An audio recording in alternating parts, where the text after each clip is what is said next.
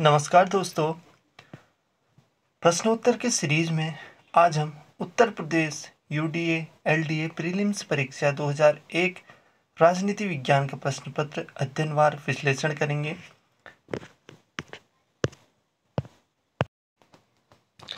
Thirty two तक के question हम कर चुके हैं। अगला क्वेश्चन है थर्टी थ्री। जब ग्रीन कहते हैं कि राज्य का कार्य उत्तम जीवन के मार्ग में आने वाली बाधाओं को दूर करना है, तब यह आधारशिला रखते हैं। इसका राइट आंसर है ए उदारवाद की। नेक्स्ट क्वेश्चन है, निम्न में से कौन मार्क्स के दर्शन का एक पक्ष था? इसका राइट आंसर है सी इतिहास की आर्थिक व्याख्या। इतिहास की आर्थिक व्याख्या को ऐतिहासिक भौतिकवाद या इतिहास की भौतिकवाद व्याख्या के नाम से भी जाना जाता है। मार्क्स व एंजल्स का कहना है कि आर्थिक शक्तियाँ ही लोगों के इतिहास का निर्माण करती हैं। उत्पादक की शैली तथा अस्तित्व के भौतिक साधनों पर ही सामाजिक, राजनीतिक तथा बौद्धिक जीवन की संपूर्ण प्रक्रिया निर्भर है। नेक्स्ट क्वेश्चन है। जे एस मिल ने रचना की है। इसका राइट आंसर है डी कंसिडरेशन ऑन रिप्रेजेंटेटिव की गवर्नमेंट। इसका राइट आंसर है डी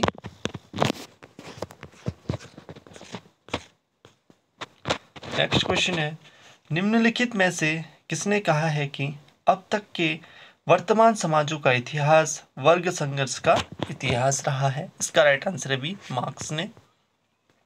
मार्क्स और एंजल्स ने कम्युनिस्ट मैनिफेस्टो में लिखा है अभी तक अस्तित्व रखने वाले समाज का इतिहास, वर्ग संघर्ष का इतिहास रहा है। मार्क्स ने ऐतिहासिक परिवर्तन की प्रक्रिया में वर्ग संघर्ष की भूमिका पर विशेष बल दिया है। मार्क्स का विश्वास था कि धनवान और निर्धन वर्गों के बीच यह संघर्ष समाज के इतिहास में तभी से मौलिक महत्व की वस्तु रहा है, जब से आदिम जनजातियाँ समाज लुप्त हुआ, क्योंकि उस समाज में उत्पादन के साधन सबकी साझी संपत्ति होते थे।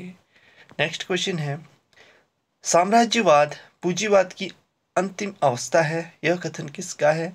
ए मार्क्स का बी लेनिन का सी स्टालिन का या फिर डी माओ का। इसका राइट आंसर है बी लेनिन का।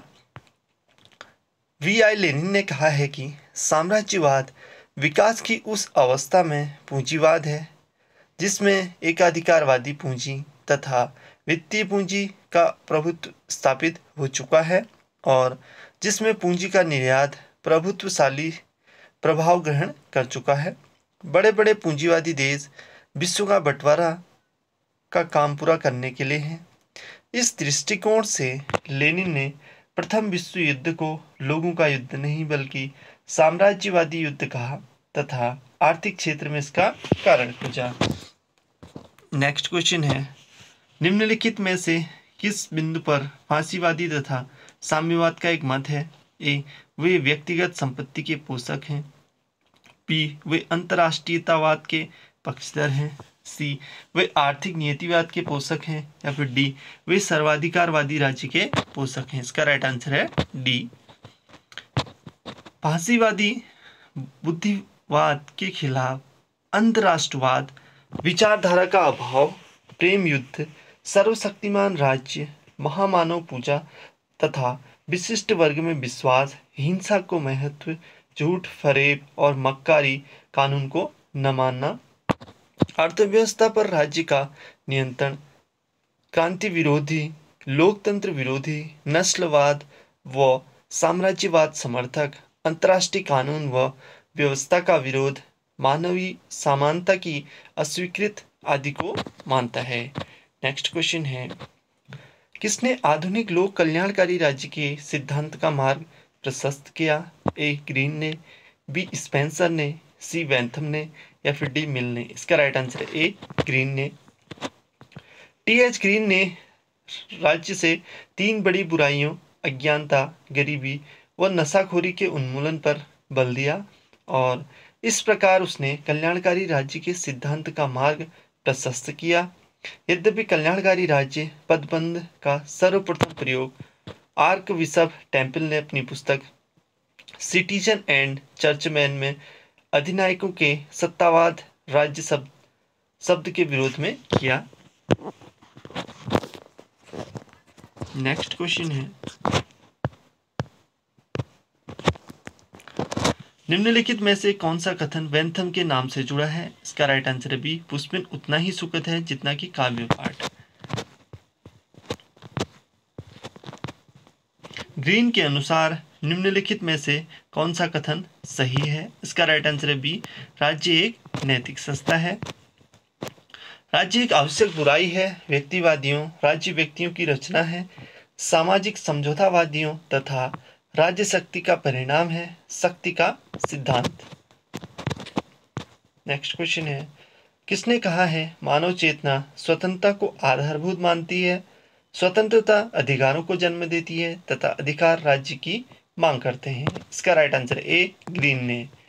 टी एच ग्रीन अपने राजनीतिक कल्प विकल्प का आरंभ स्वतंत्रता की समीक्षा के साथ करता है।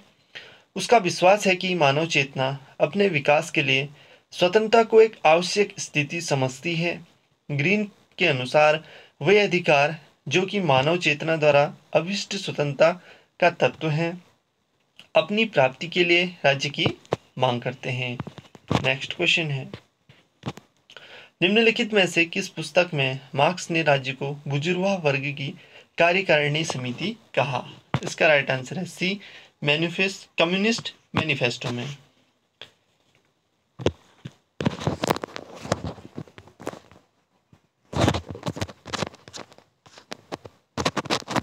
कार्ल मार्क्स को राज्य स्वाभाविक समुदाय नहीं मानता, जैसा कि प्लेटो और अरस्तु ने माना है, और न ही व्यक्तिवादियों की तरह आवश्यक बुराई ही मानता है, बल्कि मार्क्स ने और एंजिल्स ने राज्य को शोषण का उपकरण माना है।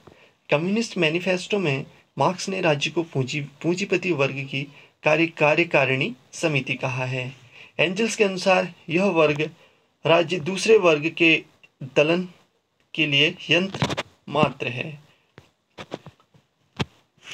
नेक्स्ट क्वेश्चन है, निम्नलिखित में से कौन सा कथन कार्ल मार्क्स के दर्शन का प्रतिनिधित्व करता है? इसका राइट आंसर है डी राज्य शोषण का एक उपकरण है। नेक्स्ट क्वेश्चन है, सामाजिक अभियांत्रिकी का सिद्धांत प्रस्तुत करने वाला उदारवादी चिंतक है। इसका राइट आंसर है B Karl J Popper next question है किसने कहा है कि राज्य का अस्तित्व इसलिए है क्योंकि अपराध का अस्तित्व होता है? इसका राइट आंसर है बी स्पेंसर ने कहा है। हर्बर्ट स्पेंसर राज्य द्वारा सामाजिक और आर्थिक जीवन के नियंत्रण का विरोधी था। उसका विचार था कि राज्य की शक्ति व्यक्ति की स्वतंत्रता में बाधक है। स्पेंसर राज्य को एक बुराई समझता था, यद्यपि वह उसे आवश्यक बुराई मानता था और कहता था कि राज्य को हमें तब तक सहन करना है जब तक कि विकास के फलस्वरूप सामाजिक सावयव के संतुलन स्थापित न हो जाए। नेक्स्ट क्वेश्चन है। युद्ध के विषय में टी एच ग्रीन ने कहा है कि इसका राइट आंसर है बी सामूहिक नरसंहार का प्रतिनिधित्व करता है।